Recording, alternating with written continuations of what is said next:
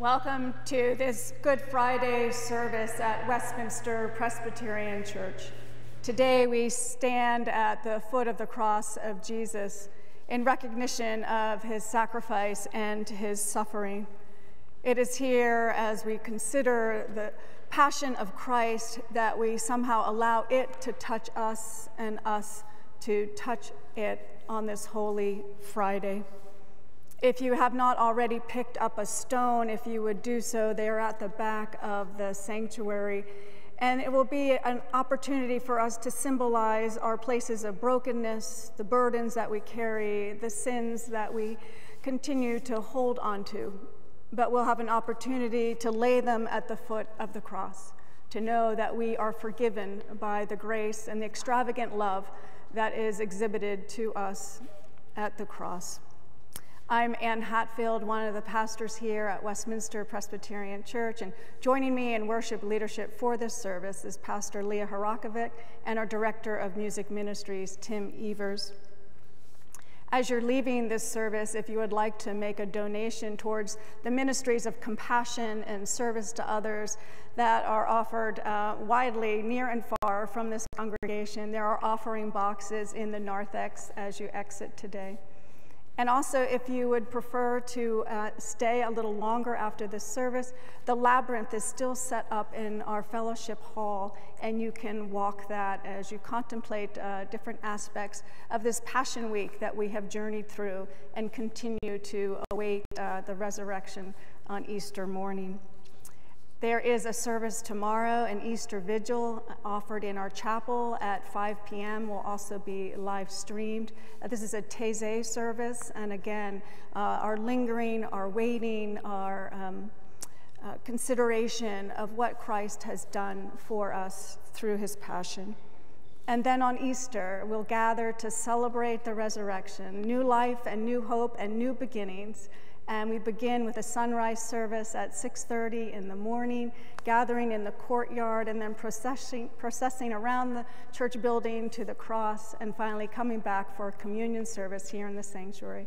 There'll be two traditional services with the chancel choir and brass at 8.15 and 9.30, and then our contemporary service at 11 o'clock and we would welcome you to any or all of those services that you are able to enter in to that wonderful day of celebration. And now let us continue with our worship.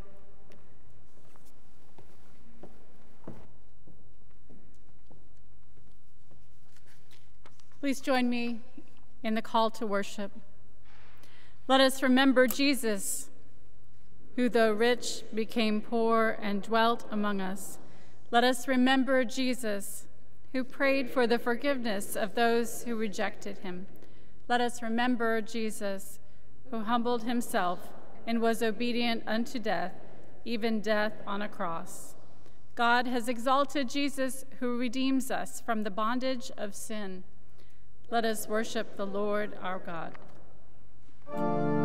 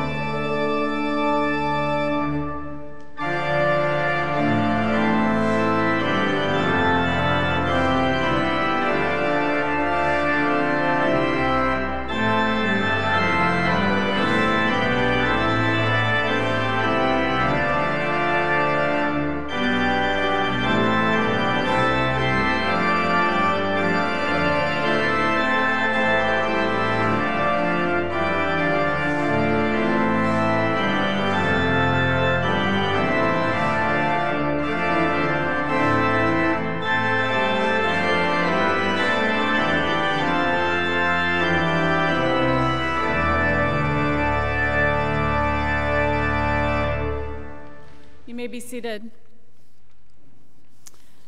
Christ is our strength in suffering, our hope for salvation. We trust in the power of the Spirit's presence that is more powerful than the forces of sin or brokenness, confident of God's love that never ends. Let us join together in our unison prayer of confession. Will you join me? Merciful God, on this day of betrayal and death, we remember the times we have been part of the crowd, seeking our best interest over what is right and good. On this day of fear and denial, we remember when we have chosen the path of safety over loyalty to you. On this day of loss and despair, we remember the ways we have wandered from your presence only to complain that we are abandoned. For all the times we have missed the mark and all the ways we have come up short, forgive us, Lord.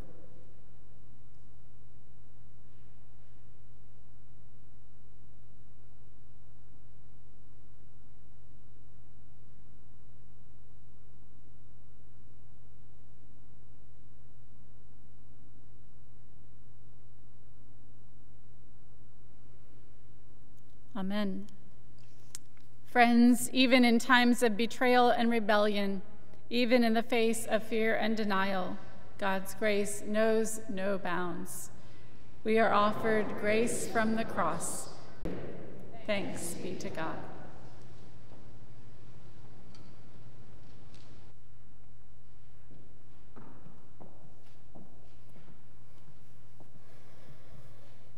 A reading from the book of Isaiah. See, my servant shall prosper, he shall be exalted and lifted up. He had no form or majesty that we should look at him, nothing in his appearance that we should desire him.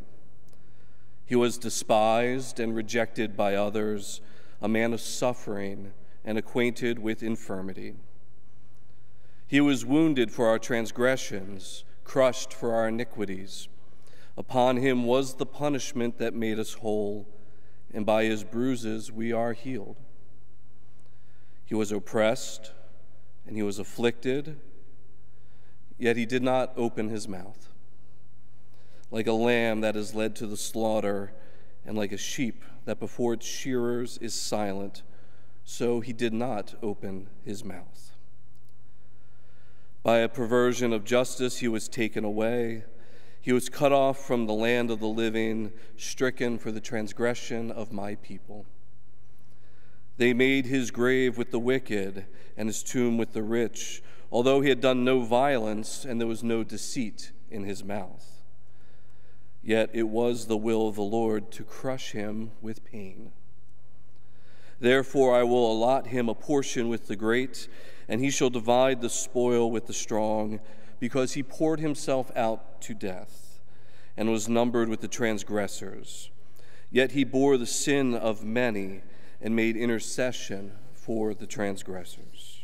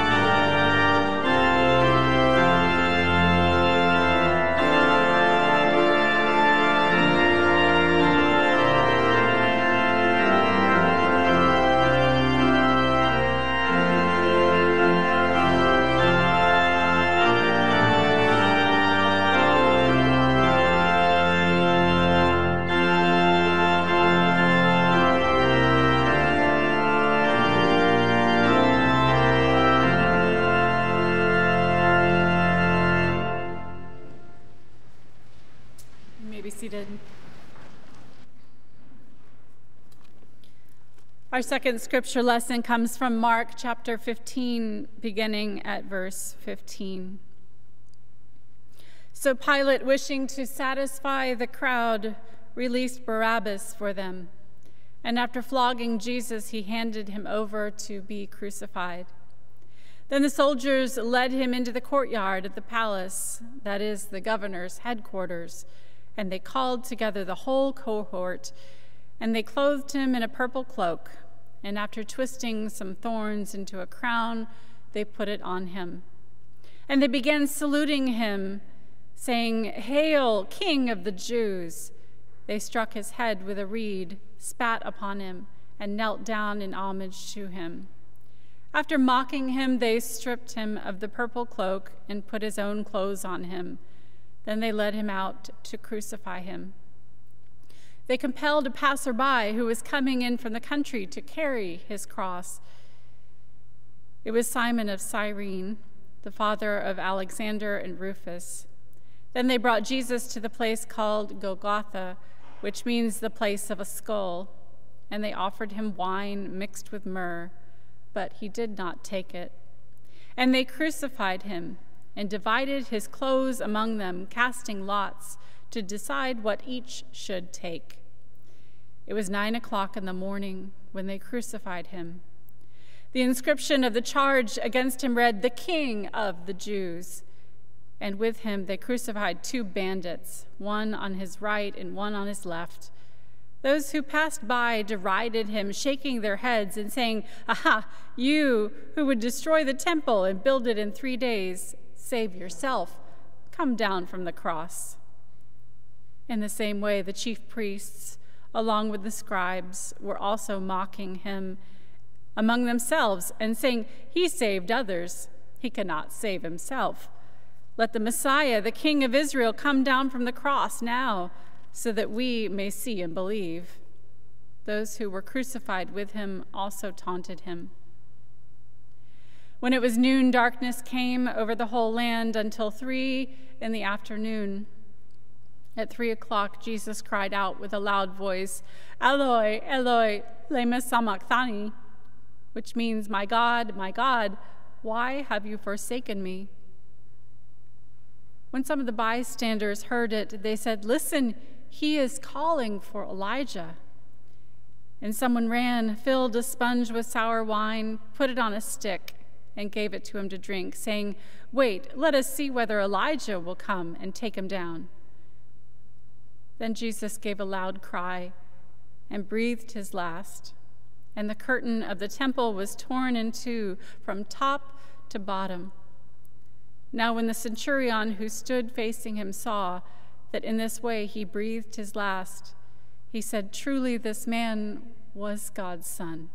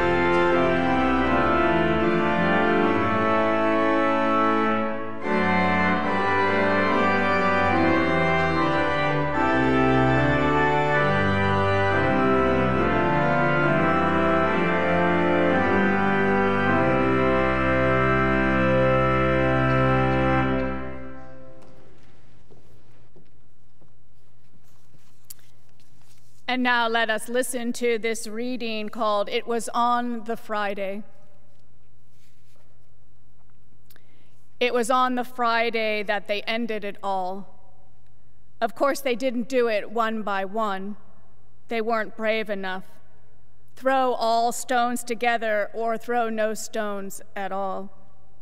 They did it in crowds, in crowds where you can feel safe and lose yourself and shout things you would never shout on your own, and do things you would never do if you felt the camera was watching you. It was a crowd in the church that did it, and a crowd in the civil service that did it, and a crowd in the street that did it, and a crowd on the hill that did it.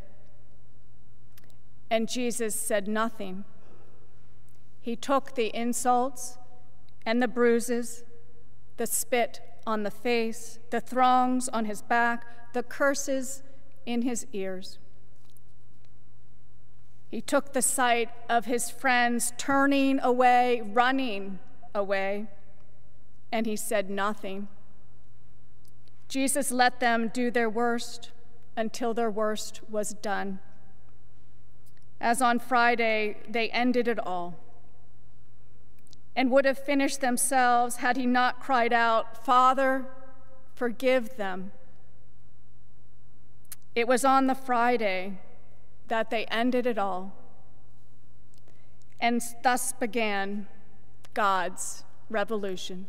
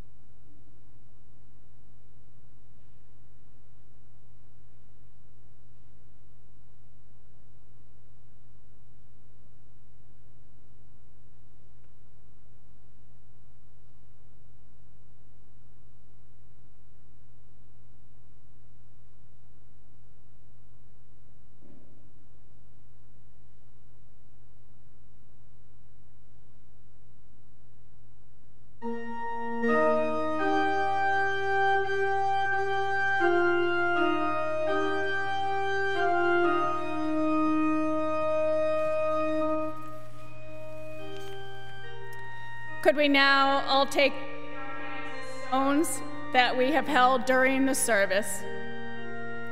Stones are what people wanted to throw at Jesus during his life.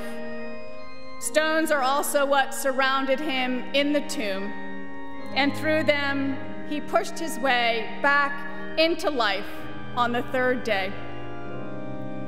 And could we, as we remember our Lord's death, and see how he was crucified by the actions of our apathy, of people like ourselves? Can we remember that it was for our sins that he died?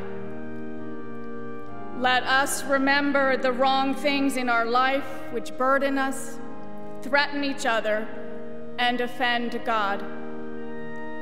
And after we have recognized these things, what they are, and how they affect us.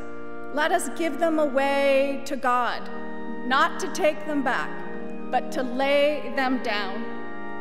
And we can say that we know God has embraced our burdens. We can give them unto Christ.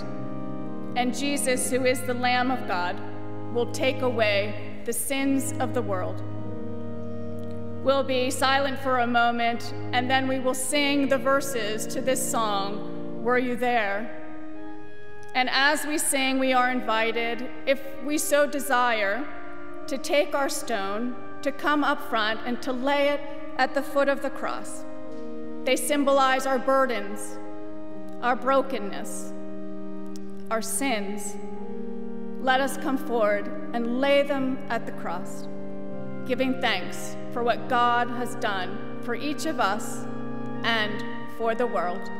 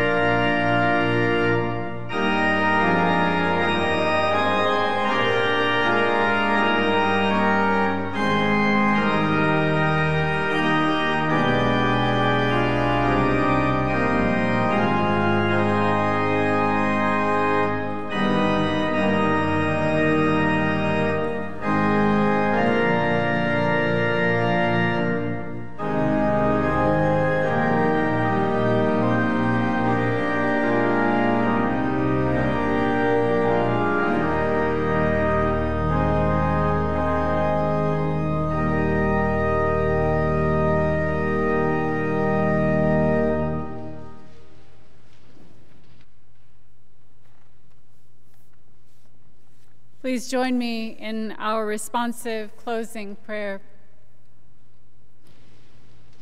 So there it is, the ugly shape of beautiful wood, rough hewn by human hands. Lord, where are you now? And there it is, a tight shut tomb, a borrowed grave, sealed with stone and silence. Lord, where are you now? And there it is, your broken body, shrouded in linen, clothed in darkness. Lord, where are you now? And somewhere stand your people, crying, though tired of crying, their eyes sore and bloodshot. They will not sleep tonight. Lord, where are you now? And out in the streets, the children have stopped their playing. The sound of music has gone sour. Even the unlikely people fidget and wonder, Lord, where are you now? And here we are saying, if only, murmuring, surely not, counting the cost for once of our carelessness and our lovelessness and our sin. Trying so vainly to gain all, we bartered you away in the transaction. We have lost the one who found us. With Peter's and Mary's of all time, we wait, for only you can tell whether we are worth rising for.